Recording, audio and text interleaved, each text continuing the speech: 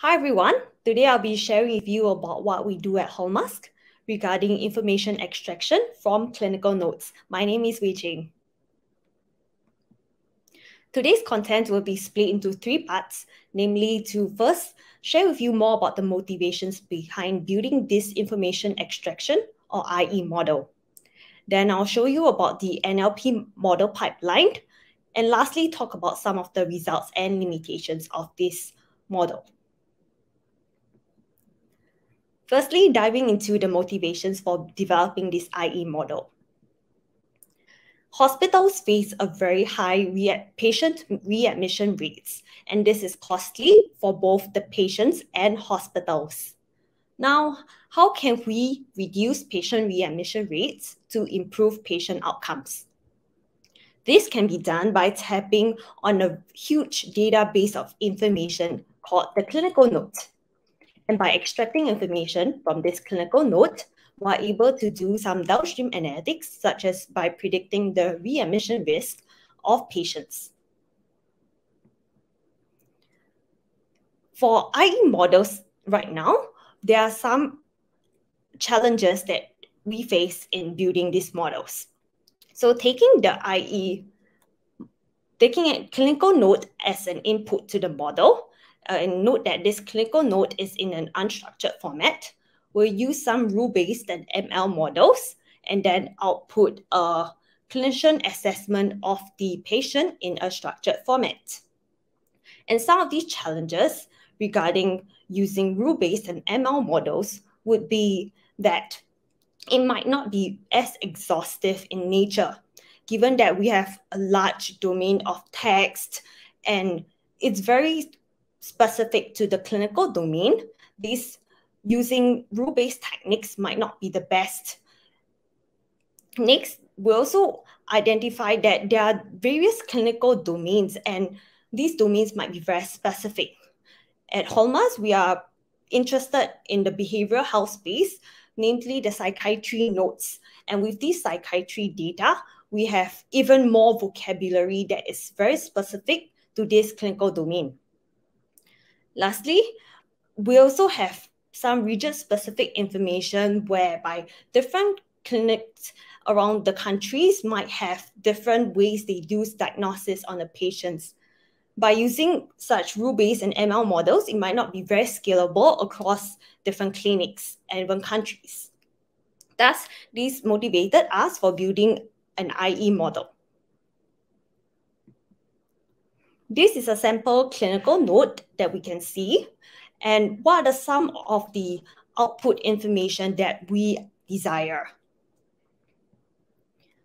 We want to identify the various topics and information such as the diagnosis, what's the mental status examination, some prior hospitalization, or even social history information in the clinical note. So to give you an um, more illustration, we'll see that putting a clinical note through the NLP model, we want to identify the topic. So it can be diagnosis, and then we want to identify the particular label, for example, psychosis.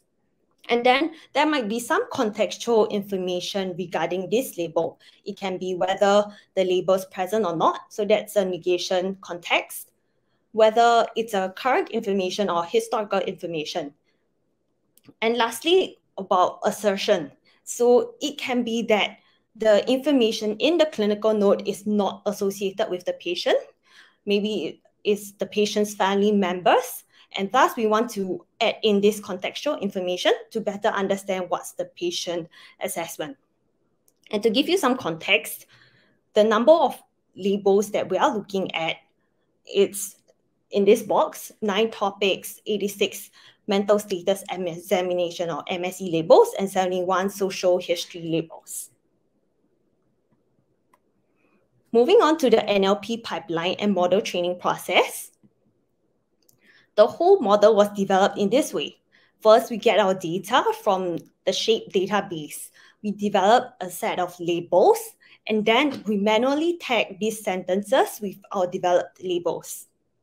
Then we train the model. So putting in a sentence, we can use either a deep learning model or rule-based model and output some topic labels of this sentence. And then we'll evaluate them on a holdout set.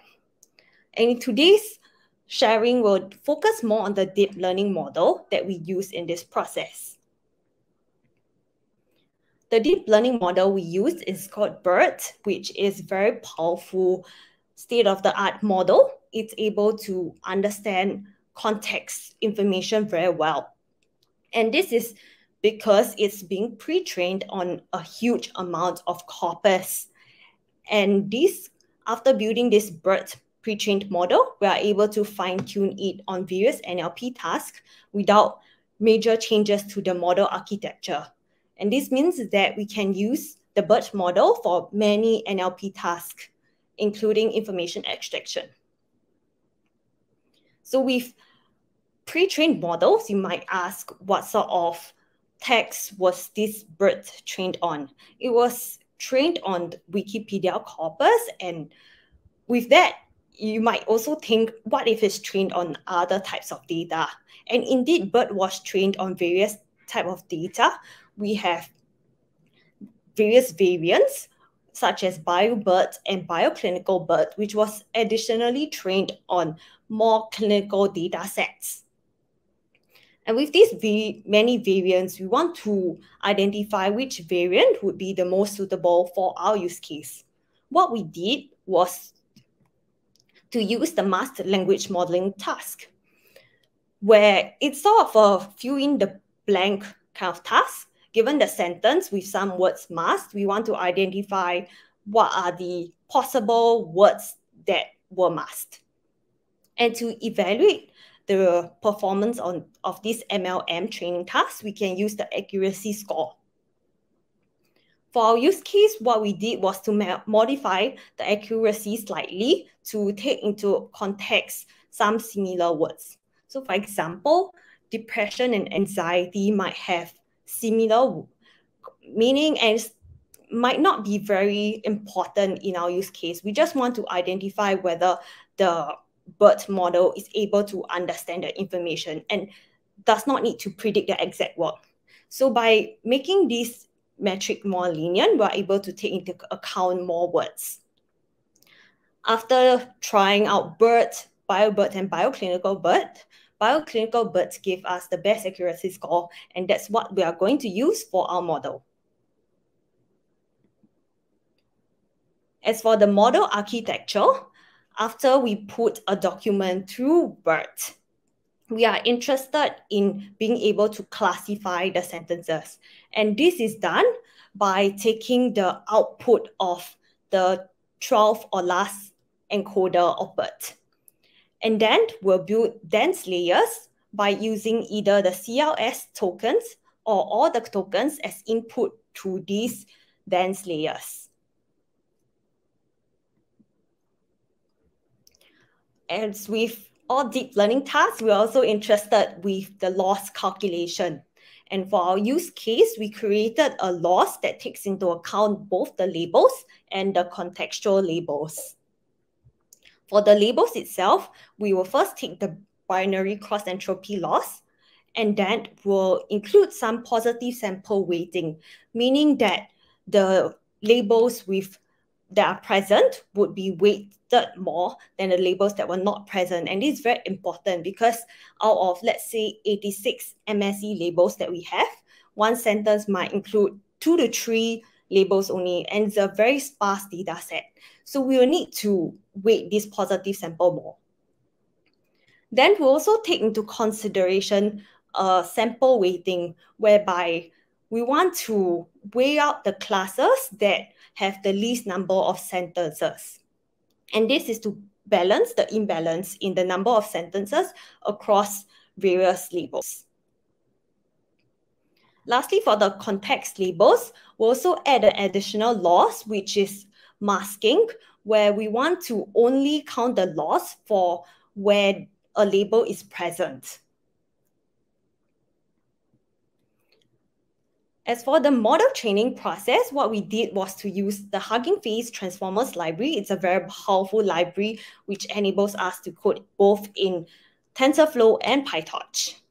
Then we used the AWS EC2 instance because it was very difficult to train on CPU, or rather, it takes a long time to be able to train BERT model with many, many hyperparameters. Lastly, we optimize the hyperparameters that we're tuning on the classification layers. And to do it in a more effective way, we look at the Bayesian optimization technique.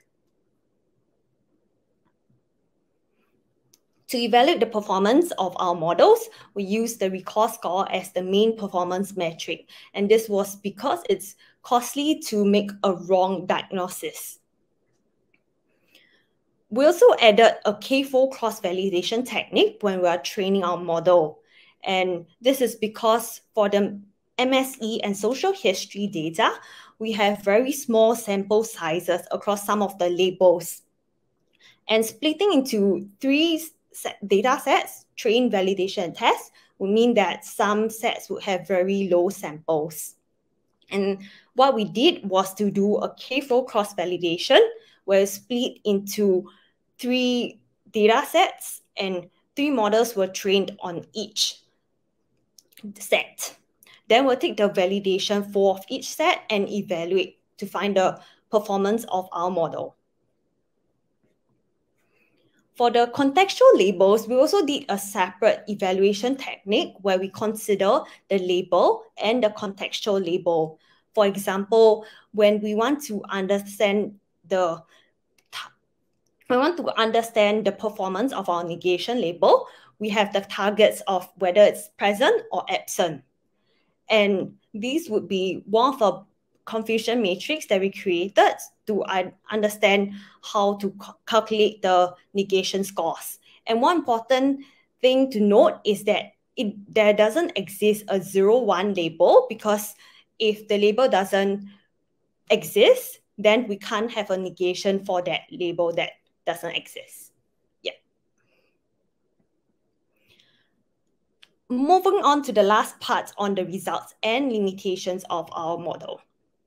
This is the best results we have so far, and we are still in the midst of developing various models. So yeah, take this with a pinch of salt and we hope that we can share with you better results in the future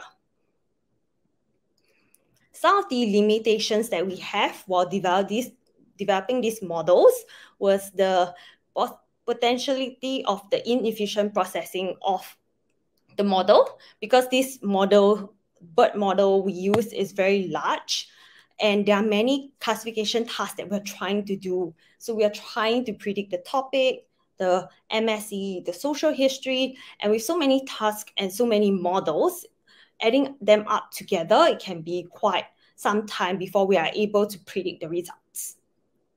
Next would be that the data set might not be very representative. For us, what we did was to manually label this data set. And because we have many different people labeling it, although they might have undergone some medical training, they might not be labeling some of the sentences the same way. And what we did was to conduct an inter-rater assessment on these clinicians' annotation. And lastly, that there may be some new categories and labels in the current data set that might not appear in other data sets.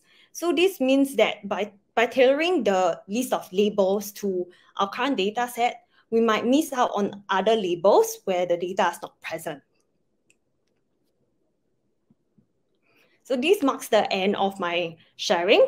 If you have any questions, feel free to ask me. Maybe shall remove your your slide so that you can see the question?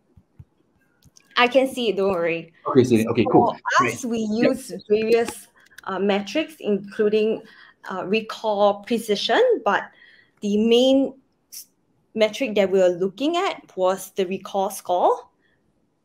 And this is because we want to be able to know whether it's the model is predicting uh, the the predicted result is true or not, right? And if it's it's more costly if there's a wrong diagnosis being predicted.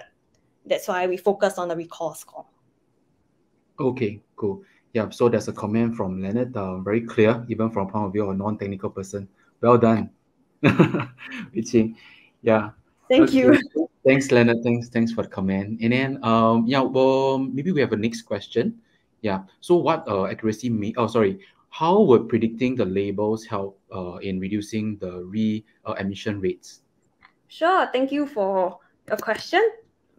I can share with you a slide that I have. So after uh, what we did was to put the notes through the model, and this note represent one visit by the patient to the clinic. And we hope that by identify the various labels present throughout various time points, meaning various clinic visits, we are able to do some modeling techniques that would be able to identify what's the risk of a patient. I hope that answers the question. Okay, okay, cool. And then uh, we have one last question um, for you. Yeah. So were there any challenges uh, faced in uh, pre-processing the data in the pipeline prior to breaking them into uh, sentences? For us, there was not many challenges in that because our data is rather clean. Uh, I would, oh, okay. One thing that I remember is that uh, when we're trying to tag the sentences, basically we need to split the notes into uh, single sentences, right? And when we use existing uh, tokenization techniques like NLTK, it somehow would split uh, various uh, numbers. So for example, uh, in the note, we have like uh, number one, this was the medication, number two was the second medication. And the NLTK would split one and the medication. So it means that it's supposed to belong to a same sentence, but because of uh, what existing techniques that we use is it was split into two sentences. Yeah, so what we did was to uh, do some manual process where we have to uh, like stick back the, the the numbers and the associated sentence together, and then we'll unsplit them after it's being tokenized. Yeah, so these are some of the things that we did.